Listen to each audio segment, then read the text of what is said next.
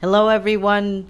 My name is Ben Haseen. I'm a second year medical student at Morehouse School of Medicine. My pronouns are he, him, his, and today I am going to be presenting to you all HPV anal cancer in black men the role of at-home self-collection to decrease anal cancer disparities. HPV-associated anal cancer makes up approximately 2.5% of all cancers in the GI tract, and black men have disproportionately have had higher rates of incidence than white men. According to the National Program of Cancer Registries, the SEER-STAT database sponsored by the CDC, black men have much higher incidence rates than white men when it comes to HPV-associated anal cancer. With black men, it's 1.7 individuals per 100,000 versus white men, which is 1.3 per 100,000 individuals. White women actually have the highest incidence rates when it comes to HPV associated anal cancer at 2.5 per 100,000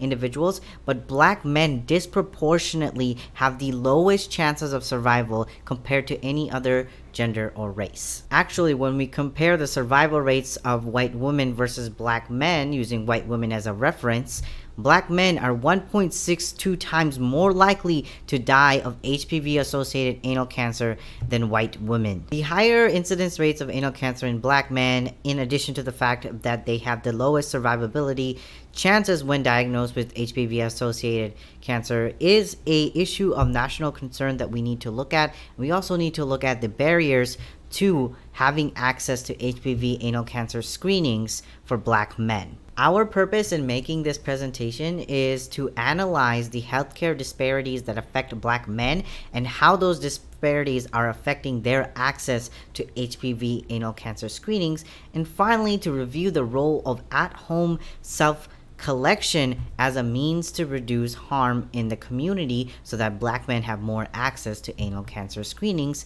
with high efficacy and sensitivity and specificity. The key barriers to black men's access to having health screenings for HPV related anal cancer is multifactorial, including both political, social, cultural, and even economical barriers that black men have to face when it comes to prioritizing their own health. This is why offering at-home self-collection as an option to black men can really diminish some of those barriers, not all of them, but some of those barriers to significantly elevate the early detection of HPV-associated anal cancer in black men, which will lead to early intervention and which will lead to more survivability among black men. Compared to clinician collected samples, at home self collection has been shown to have pretty satisfactory sensitivity and specificity value. It's also important to analyze the samples via PCR HPV DNA instead of cytology because